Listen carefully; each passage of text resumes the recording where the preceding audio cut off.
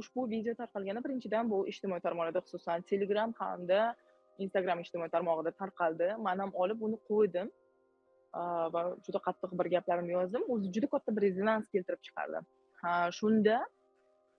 bizani shu pokiza insonlar jamoasi bor volontyorlik jamoasi bor. Shunda bir akamizni sergeli mashina bozorida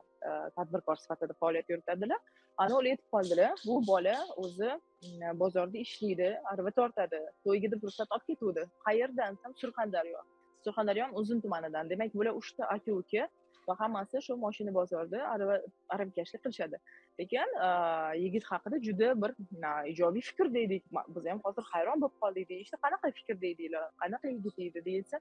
og'ir bosib sipo yigit 보시죠.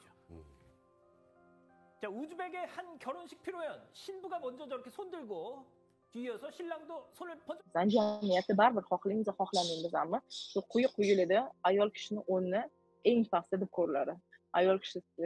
tosh kelsa kemirib suv kelsa semirib simirib mana shu narsani masalan